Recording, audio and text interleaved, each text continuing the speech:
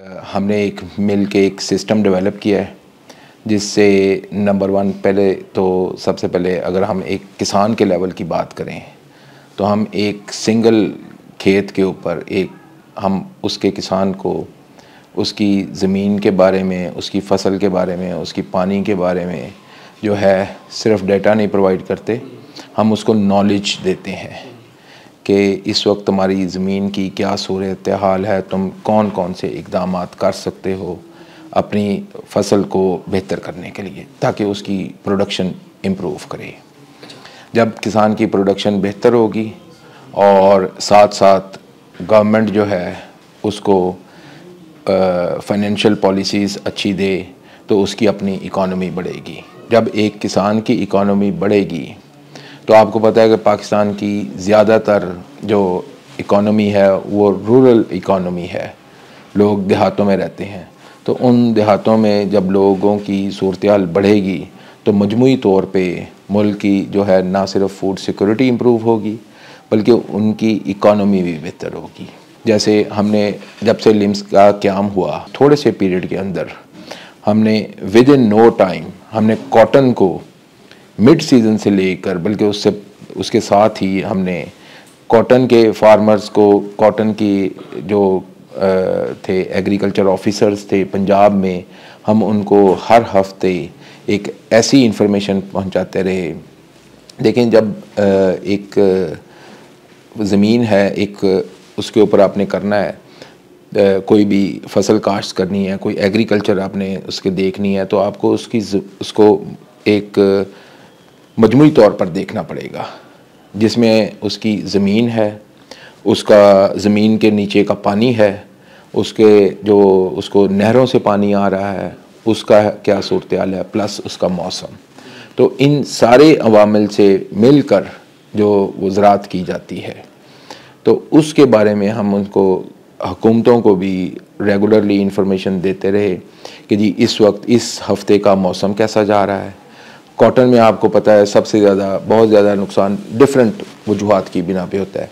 तो उसमें जो है जो हशरात हैं, जो इंसेक्ट्स हैं, वो बहुत ज़्यादा नुकसान पहुंचाते हैं। तो उनके लिए हमने उनको बाकायदा मॉडल करके देते रहे। इवन के इस कॉटन के सीज़न में हमने जब पेस्ट मॉडलिंग की और उसके साथ हमने मौसम कैसे चेंज हो रहा है। जैसे वाइट फ्लाई की मैं आपको एक मिसाल देता हूँ कि वाइट फ्लाई एक डेंजरस इंसेक्ट है। हमने उसकी मॉडलिंग की और उसकी मॉडलिंग के नतीजे में हमने आइडेंटिफाई किए वो एरियाज़ किसानों के, आम किसानों के एरियाज़ जहाँ पे वाइट फ्लाई का अटैक हो रहा था। तो फिर हमने उस इंफॉर्मेशन की बेस के ऊपर, जो पाक फ़ौज ने अपने हेलीकॉप्टर्स के साथ और ड्रोन्स के साथ एक लाख एकड़ से ज़्यादा के एरिए में स्प्रे किया उसको ख़त्म करने के लिए।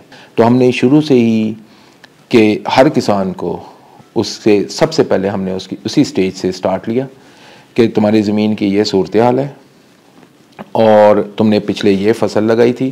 तो अब आप किन किन इकदाम को करके आप अपनी ज़मीन को तैयार कर सकते हैं गंदम की बिजाई के लिए? और जब गंदम को मौसम के लिहाज से उसके मुनासिब वक्त पर बोया जाएगा और उसकी मुनासिब देख रेख की जाएगी तो किसान एक अपनी अच्छी फ़सल ले सकता है। हम हर पाँच दिन के बाद सैटेलाइट के साथ हम उसकी इंफॉर्मेशन को, उसको, किसान को देते हैं, एक, उसके एग्रीकल्चर ऑफिसर के थ्रू। और हम हुकूमत पंजाब के जो एग्रीकल्चर डिपार्टमेंट है, उसके साथ बड़ा क्लोजली वर्क कर रहे हैं। और ये इंफॉर्मेशन हर एक तहसील लेवल के ऊपर और डिस्ट्रिक्ट लेवल के ऊपर उनके मुतल अफसरान को भेजी जा रही है कि आपके एरिए के इन इन किसानों में किन किन इलाकों में फ़सल बेहतर जा रही है, कहाँ पे कोई मसला आ रहा है। हम छः किस्म की उसको इन्फॉर्मेशन पहुँचाते हैं, फ़सल की स्टेज के मुताबिक। शुरू से कि जर्मिनेशन कैसे हुई, आपके किन एरियाज़ में, हमने बहुत सारे एरियाज़ में ये जो है सेटेलाइट से ही ये चीज़ इंफॉर्मेशन डिटेक्ट की प्रोसेस किया, उसको नॉलेज में कन्वर्ट किया और फिर हमने ये देखा कि किन किन इलाकों में किन किन एरियाज़ में फ़सल जो है सही तरह से उसकी जर्मिनेशन नहीं हुई। तो और कहाँ कहाँ पे दोबारा सोइंग की ज़रूरत है, ताकि किसान का वक्त ना ज़ाया हो और वो फौरी तौर पर उसके मुनासिब इकदाम ले। ये पहला स्टेप था।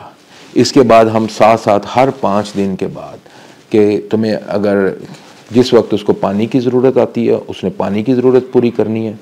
और जब उसको, उसके फ़सल के ऊपर कोई जड़ी बूटियाँ, जैसे आपको पता है कि गंदम के खेत में सबसे पहले जड़ी बूटियों का अटैक स्टार्ट होता है तो जो हमने चौड़े पत्तों वाली बूटियाँ हैं, ज़्यादातर वो इम्पेक्ट कर रही होती हैं। उनका हमने उसको इन्फॉर्मेशन दी हर एक खेत सिंगल एक इंडिविजुअल फार्मर के लेवल पे।